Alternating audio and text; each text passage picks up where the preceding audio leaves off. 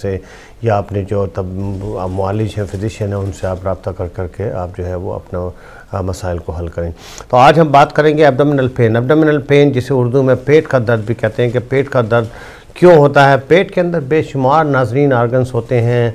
आपके अगर आप ऊपर से बेसिकली पेट कहते हैं कि जो सीने का हिस्सा, जो आपकी रिब केज है, जहाँ आपकी पसलियाँ हैं, पसलियों के नीचे का जो हिस्सा है, इसको सारे को एबडामिन कहते हैं या इसको पेट कहते हैं।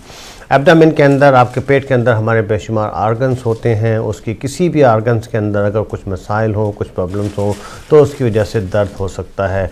और बाज़ अवत ये एबडामिन का जो पेन होता है, पेट का दर्द बहुत ही सीवियर होता है, बहुत ही डिस्ट्रेसिंग सिम्टम्स होते हैं। अब ये पेन कहाँ से आ रहा है, क्यों हो रहा है, इसके बेशुमार इसबाब होते हैं। जैसे मैंने कहा कि एबडामिन के अंदर, पेट के अंदर बेशुमार आर्गन होते हैं। जिसके अंदर आपका स्टमक है, जिसको मैदा कहते हैं, आपका पेनक्रियाज है, लुबलुबा है, आपका आइसोफेगस है, आपका गाल ब्लेडर जिसे पित्ता कहते हैं, आपका पेट के अंदर आपका लिवर है जिसे जिगर कहते हैं, आपकी छोटी अंतड़ियाँ हैं जिसे डिडिनम कहते हैं, स्मॉल इंटेस्टाइन और लार्ज इंटेस्टाइन। तो डिपेंड करता है कि कौन से आर्गन के अंदर, किस चीज़ के अंदर बेसिकली आपके प्रॉब्लम पैदा हो रहा है जो जिसकी वजह से आपको दर्द हो। बाज़ात ये पेन जो है एबडोमिनल पेन जो है पेट का दर्द बाज़ात ऊपर सीने की तरफ़ भी महसूस होता है या सीने के नीचे रेस्टो एक्सटर्नल इसको जिसको एरिया कहते हैं वो बहुत ज़्यादा कॉमन है। अब हमारी कम्युनिटी के अंदर चंद चीज़ें चीज़ें चीज़ें बात करेंगे जिसकी वजह से बहुत ज़्यादा अक्सर जो है बेद दर्द हो, होता है। जिसके अंदर एबडोमिनल पेन के अंदर देखेंगे जो सबसे बहुत ज़्यादा कॉमन काज है पेट के दर्द का उसको इनडाइजेशन कहते हैं। कि आपने खाना बहुत ज़्यादा खा लिया, या खाना आपका हज़म नहीं हो रहा, या हार्ट बर्न शुरू हो गई, जिसकी वजह से पेट की ब्लोटिंग शुरू हो जाती है। अचानक आपके पेट के अंदर यहाँ सीने के नीचे आपको हार्ट बर्न या बर्निंग होती है। ये इनिशियल और इब्तदाई अलामत होती हैं, आपके इंडाइजेशन की ब्लोटिंग होती है, गैस बहुत ज़्यादा बन रहा हो, जिसे विंड कहते हैं। उसके अलावा जो है वो इंडाइजेशन, उसके बाद विंड विंड के अलावा जो बहुत ज़्यादा कॉमन काज होता है अब आ, अच्छा उसके अलावा इन जैसे इंडाइजेशन मैंने कहा कि इंडाइजेशन के अंदर आपका खाने का हज़म ना होना खाने के अंदर तेज़ाबियत का बढ़ जाना आपका ब्लोटिंग होना ये सारी चीज़ें हो सकती हैं। अच्छा दूसरे है फिर विंड विंड जिसमें गैस का बहुत ज़्यादा पैदा होना विंडी जिसे कहते हैं। बेबी यूजली चिल्ड्रेन जो छोटे बच्चे होते हैं बहुत ज़्यादा विंडी होते हैं और बहुत ज़्यादा उनमें जो है गैस पैदा होती है। इसी तरह से अगर अगर हम बहुत ज़्यादा खाना खा लें तो उसकी वजह से जो है वो जिसम के अंदर स्टमक जो है बेशुमार जिसम की तेज़ाबियत और एसिड वगैरह पैदा होते हैं, जिसकी वजह से विंड या गैस की शिकायत होती है, जिसकी वजह से भी अक्सर जो है दर्द होता है। उसके अलावा जो कॉमन काज है पेट के दर्द का, उसमें आपकी कॉन्स्टिपेशन कॉन्स्टिपेशन का जो दर्द यूजली ये, जो मैंने अभी जो बात की थी डाइजेशन के, विंड की, ये यूजली पेट के ऊपर के हिस्से में दर्द की, ज़्यादातर उसकी वजह से दर्द होता है। और जो नीचे का जो हिस्सा पेट का, जहाँ आपकी अंतड़ियाँ होती हैं, जिसको स्मॉल इंटेस्टाइन है, या फिर बिग बाउल या कोलन या रेक्टम कहते हैं, अगर वहाँ पर आपका कॉन्स्टिपेशन जिसको उर्दू में कब्ज़ कहते हैं ये भी बहुत ज़्यादा कामन काज होता है दर्द का। अच्छा कॉन्स्टिपेशन क्या होती है? कॉन्स्टिपेशन अक्सर ये कहा जाता है कि जी, अगर आपकी बाउल मूव नहीं हो रही, बिल्कुल आप जो है बड़ा पेशाब आपको नहीं आ रहा तीन से चार दिन तक तो अक्सर इसको, आम अलामत में इसको कॉन्स्टिपेशन कहा जाता है। कॉन्स्टिपेशन क्यों होती है? इस पर थोड़ा सा बात करेंगे कॉन्स्टिपेशन के क्या रीज़न्स होते हैं, क्योंकि बहुत ही ज़्यादा कॉमन प्रॉब्लम्स हैं। हम इंग्लैंड में चूँकि यूके में रहते हैं तो इंग्लैंड के अंदर जो है कॉन्स्टिपेशन चूँकि हम यहाँ सर्दी का मौसम है, हम तो एक तो पानी बहुत कम पीते हैं। पानी कम पीने की वजह से जो है वो करने में बाज़ों कॉन्स्टिपेशन का वो शिकार होती है। ओल्ड एली लोगों के अंदर जो बूढ़े लोग होते हैं उनकी मोबिलिटी बहुत कम होती है या तो बैठे रहते हैं बिस्तर में सोते रहते हैं उसकी वजह से गट की मोबिलिटी के ऊपर जो है उस बाज़ात ऐसी अलामत हो जाती है। नाजिन जैसे कि यहाँ आपको रिमाइंड कराता चलूँ कि हमारा प्रोग्राम जो है इंटरक्टिव शो है। हमारी टेलीफोन लाइन जो हैं अब खुल चुकी हैं। अभी हमारे वक्फे के बाद इन हमारे साथ एक गेस्ट शामिल होंगे जिसमें हम उनसे बात करेंगे गाल ब्लेटरी गाल स्टोन के ऊपर भी।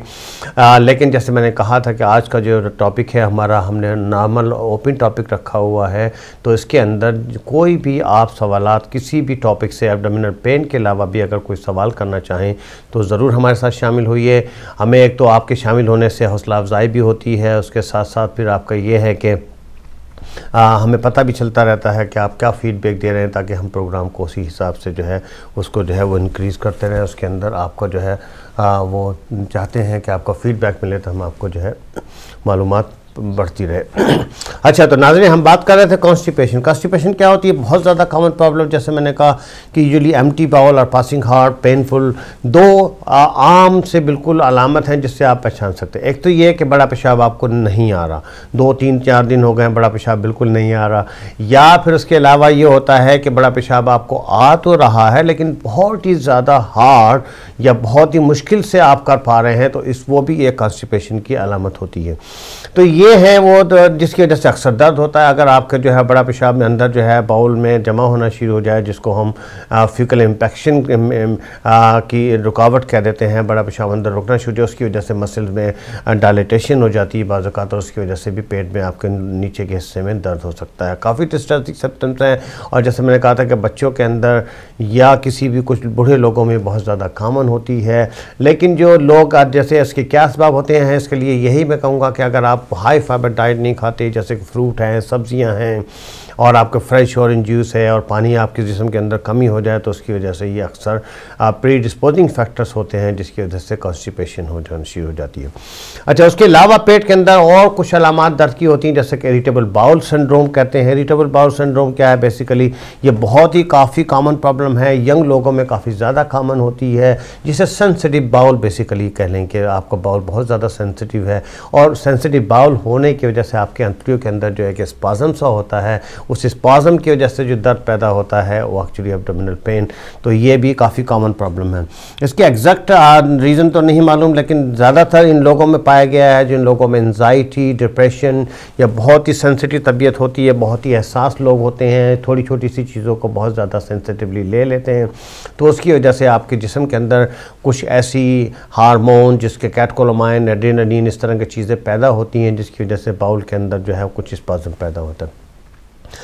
अच्छा इसके अलावा जो और काजिज हो सकते हैं, पेट के दर्द के, जिसमें आपका अपेंडिसाइटस है, अपेंडिसाइटस क्या चीज़ होती है, इसके बारे में थोड़ी सी बात कर लेते हैं। अपेंडिसाइटस अपेंडिक्स एक आपके जो है, बड़ी अंतड़ी के नज़दीक के हिस्से के अंदर एक छोटी सी एक्स्ट्रा स्ट्रक्चर सी बनी हुई होती है। इसका कोई ख़ास फ़ंक्शन जिसम में नहीं होता, जिसे अपेंडिक्स करते हैं। एसेसरी एक स्ट्रक्चर्स है आपकी बॉल के साथ अटैच। इसके अंदर जब सूजन हो जाए या इन्फ्लेमेशन हो जाए तो इसको अपेंडिसाइटस कहते हैं। आइटस जैसे आपने कहा कि किसी भी आर्गन अपेंडिक्स आर्गन का नाम है, उसके साथ आइटस आगे लगा लें तो बेसिक मैनी है इन्फ्लेमेशन के।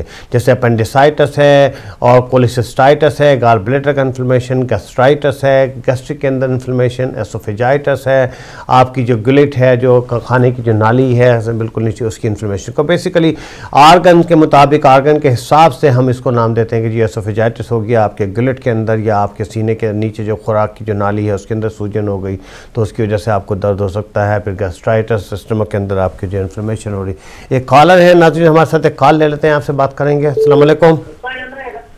हेलो वालेकुम। जी। कौन सब कहाँ से बोल रहे हैं? जी। बोल रहा जी। कितों कल? अच्छा गुजरात पाकिस्तान तो कल कर कल कर रहे हो। दी की सवाल तो है पाकिस्तान जी जी जी। की सवाल है सर दसो। ਮੈਂ ਮਰਦ ਦੇ ਬਾਰੇ ਪੁੱਛਣਾ ਜੀ ਜੀ ਜੀ ਦੱਸੋ ਕੀ ਸਵਾਲ ਹੈ ਕੀ ਕਿਹੜਾ ਕਿਹੜੀ ਬਿਮਾਰੀ ਦਾ ਪੁੱਛਣਾ 18 19 ਸਾਲ ਤੋਂ ਜਿਹੜਾ ਨਾ ਜੀ ਜੀ ਇਹਦਾ 18 19 ਸਾਲ ਤੋਂ ਜਿਹੜਾ ਬਲੱਡ ਪ੍ਰੈਸ਼ਰ ਵੱਧਦਾ ਹੈ ਅੱਛਾ ਤੇ ਉਹ ਮੈਂ ਕਾਲ ਗੋਲੀ ਛੋੜੀਆਂ ਖਾਦੀਆਂ ਯਾਰ ਸਵੇਰ ਨਾਸ਼ਤਾ ਕਰੇ ਨਾ ਨਾ ਜੀ ਜੀ ਜੀ ਜੀ ਮੇਰਾ ਫੌਰੀ ਬਲੱਡ ਪ੍ਰੈਸ਼ਰ ਤੇਜ਼ ਹੋ ਗਿਆ ਤੇ ਤੁਸੀਂ ਬ- ਅੱਜ ਅੱਜ ਤੁਸੀਂ ਕੀ ਕਹਿ ਰਹੇ ਹੋ ਕਿ 8-10 ਸਾਲ ਤੋਂ ਤੁਹਾਨੂੰ ਬਲੱਡ ਪ੍ਰੈਸ਼ਰ ਦੀ ਬਿਮਾਰੀ ਹੈ ਬਹੁਤ ਜ਼ਿਆਦਾ ਗੋਲੀਆਂ ਖਾਂਦੇ ਹੋ ਤਾਂ ਬਲੱਡ ਪ੍ਰੈਸ਼ਰ ਕੰਟਰੋਲ ਹੋ ਜਾਂਦਾ ਹੈ ਗੋਲੀਆਂ ਨਾ ਖਾਓ ਤਾਂ ਬਲੱਡ ਪ੍ਰੈਸ਼ਰ ਹਾਈ ਹੋ ਜਾਂਦਾ ਹੈ ਤੇ ਯਾਰ ਗੋਲੀ ਨਾਲ ਮੈਂ ਮੈਂ ਉਹ- ਉਦੋਂ ਖੰਨਾ ਜਦੋਂ ਆਪ ਪਵੇ ਤਾਂ ਇਹ ਮੈਂ ਲਗਾਤਾਰ ਗੋਲੀ ਨਹੀਂ ਖਾਂਦਾ ਮੈਂ ਮਾਨਾ ਬਈ ਕਮਜ਼ੋਰ ਕਰ ਦੀ ਇਹਨੇ ਆ ਗੱਲ ਸਰ ਇਹ ਹੈ ਕਿ ਬਲੱਡ ਪ੍ਰੈਸ਼ਰ ਜੇ ਤੁਹਾਡਾ ਡਾਇਗਨੋਜ਼ ਹੋ ਕੇ ਜੇ ਤੁਹਾਨੂੰ ਡਾਕਟਰ ਦੱਸਿਆ ਹੈ ਕਿ ਜੀ ਬਲੱਡ ਪ੍ਰੈਸ਼ਰ ਤੁਹਾਡਾ ਹਾਈ ਹੈ ਮੁਸਲਸਲ ਤਾਂ ਬਲੱਡ ਪ੍ਰੈਸ਼ਰ ਦਾ ਗੋਲੀ ਖਾਣ ਬਹੁਤ ਜ਼ਿਆਦਾ ਇੰਪੋਰਟੈਂਟ ਹੁੰਦੀ ਹੈ ਔਰ ਗੋਲੀ ਨਾ ਖਾਣ ਨਾਲ ਕਾਫੀ ਨੁਕਸਾਨ ਵੀ ਹੋ ਸਕਦਾ ਹੈ ਤੇ ਇਹਦੇ ਇਲਾਵਾ ਵੀ ਕੋਈ ਹੋਰ ਗੱਲ ਕਰਨੀ ਹੈ? ਕੋਈ ਕੋਈ ਹੋਰ ਸਵਾਲ ਪੁੱਛਣਾ ਹੈ ਇਹਦੇ ਇਲਾਵਾ? ਨਾਲ ਉਹ ਡਿਪਰੈਸ਼ਨ ਦੇ ਨਾਲ ਮਰੀਜ਼ ਅਸਲ ਦੇ ਜਿਹੜਾ ਨਾ 25 20 25 ਸਾਲ ਤੋਂ ਮੈਂ ਡਿਪਰੈਸ਼ਨ ਦਾ ਮਰੀਜ਼ ਹਾਂ। ਉਮਰ ਕਿੰਨੀ ਹੈ ਤੁਹਾਡੀ? उम्र मेरी साठ साल हुई होती है जी। अच्छा। तकरीबन मैंने जो है ना अठारह उन्नीस साल तो शुरू हुई है। अच्छा अच्छा। में तबकीर है मेदा जी जी मैं नाश्ता करना मेरा पाँच दस मिनट के बाद। ते खाना हजम नहीं होता? कस्तौरी चेक कराया कस्तौरी आधे करीब करीब आधे में शुगर तेन या शुगर ही कंट्रोल है जी तकरीबन कोई ਕਦੀ ਕਦੀ ਅਲਾਮਤ ਹੁੰਦੀ ਹੈ। ਤੇ ਤੁਸੀਂ ਮੈਂ ਗੁਰਦੇ ਪੱਥਰੀ ਰਹੀ ਹੈ ਮੌਲਾਨਾ ਪੱਥਰੀ ਦੀ ਵਜ੍ਹਾ ਤੋਂ ਹੈ ਠੀਕ। ਜੇ ਡਾਕਟਰ ਕੋਲ ਭਾਈ ਨਾਲ ਕਈ ਆਦੇ ਡਿਪਰੈਸ਼ਨ ਹੈ ਕਈ ਆਦੇ ਦੀ ਮਿਹਦੇ ਦੀ ਖਰਾਬੀ ਹੈ। ਤੇ ਤੁਹਾਡਾ ਮੇਨ ਸਵਾਲ ਕੀ ਹੈ? ਤੁਸੀਂ ਕੀ ਪੁੱਛਣ ਚਾਹਦੇ ਹੋ? ਇੱਕ ਸਵਾਲ ਮੈਂ ਮੈਂ ਤੁਸੀਂ ਦੱਸੋ ਤਾਂ ਉਹਦਾ ਮੈਂ ਜਵਾਬ ਦੇ ਦਾਂ ਅੱਛਾ ਬਲੱਡ ਪ੍ਰੈਸ਼ਰ ਦੇ ਬਾਰੇ ਕੀ ਕਰਨਾ? ਠੀਕ ਹੈ ਤੁਸੀਂ ਪ੍ਰੋਗਰਾਮ ਤੱਕ ਦੇ ਰਹਿਣਾ ਬਲੱਡ ਪ੍ਰੈਸ਼ਰ ਦੇ ਮੁਤਾਲਕ ਤੁਹਾਨੂੰ ਦੱਸਣਾ। ਠੀਕ ਹੈ ਜੀ ਬਹੁਤ ਬਹੁਤ ਸ਼ੁਕਰੀਆ ਤੁਹਾਡੀ ਕਾਲ ਦਾ। आ, ये हमारे साथ काला जी पाकिस्तान से थे। बहुत बहुत शुक्रिया आप हमारे साथ शामिल हुए। तो प्रोग्राम तक दे रहे हो मैं तो प्रश्न एक और कॉलर हैं कॉल ले लेते हैं। असलम जी। असलम हेलो। जी कौन साहब कहाँ से बोल रहे हैं? जी। जी मैं गिलगित से बात कर रहा हूँ। मैं मैं गिलगित का एक पसमंदा इलाका बगरोड से मैं बात कर रहा हूँ। जी जी जी जी क्या सवाल है आपका? बताइए क्या पूछना चाहते हैं? मेरा सवाल ये है मेरा एक छोटा मेरा नाम तोता जान है। जी, जी, जी। मेरा एक छोटा बच्चा है इतना मतलब मैंने हॉस्पिटल में फिराया उसका एलर्जी है आँखों की। अच्छा, आँख- को जी जी जी। मेरा सवाल पहुँचा देता कि मेरे वो बच्चे की आँखों की जो एलर्जी के लिए कोई दवाई तशखीस कर सके। अच्छा अच्छा तो आपका आपके बेटे की कितनी उम्र है और एलर्जी कब से है उसको? मेरे बच्चे की पाँच साल उम्र है। अच्छा तो एलर्जी का कोई इलाज वहाँ कराया है? तो मैंने कई दफ़ा डॉक्टरों के पास ले गया है। जी जी जी। तो क्या अलामत है उसको? आँखों से तो कोई आँखों से पानी आता है और खारिश आती है बहुत ज़्यादा? आँखों से पानी नहीं आ रहा लेकिन उसके आँखों में कुछ मसाइल है हो रहे हैं। नहीं, क्या अलामत क्या हैं? काला कभी कलर मालर चेंज होता है उसका। ठीक। ठीक है। खारिश बहुत ज़्यादा आती है आँखें लाल हो जाती हैं इस तरह की अलामत है। ठीक है आप लोग। जनाब आँखों से पानी नहीं आ रहा है उसका कलर चेंज हो रहा है कभी पीली होती है कभी ठीक। ठीक है आप प्रोग्राम देखते रहे मैं इंशाल्लाह आपको बताता हूँ ठीक है जी? आप प्रोग्राम देखते रहे मैं एलर्जी के बारे में ज़िक्र करता हूँ। अच्छा जी ये हमारे साथ दो कॉलर थे पाकिस्तान से आपको तो पंजाबी में ही जवाब दूँगा। मैं, हमारा एक छोटे से वक्फे का टाइम हो रहा है। नाजरीन, हमारे साथ रहिएगा। दो कॉलर दूसरे कॉलर भी गिलकत से शामिल हुए आपके बेटे को एलर्जी है आँखों में। एलर्जी के बेशुमार इसबाब होते हैं। कहीं मत जाएगा नाजरीन, एक छोटा सा ब्रेक का टाइम हो रहा है। एक छोटा सा ब्रेक उसके बाद फिर हम जो पाकिस्तान से दोनों कॉलर किए थे ब्लड प्रेशर का और एलर्जी का आँखों में, आप हमारे साथ रहिएगा। इंशाल्लाह आपको इन सवालों का जवाब देंगे और कंटिन्यू हम बात करते रहेंगे एबडोमिनल पेन के ऊपर और उसके इसबाब तो एक छोटा सा वक्फा, नाजरीन, इंशाल्लाह उसके बाद मुलाकात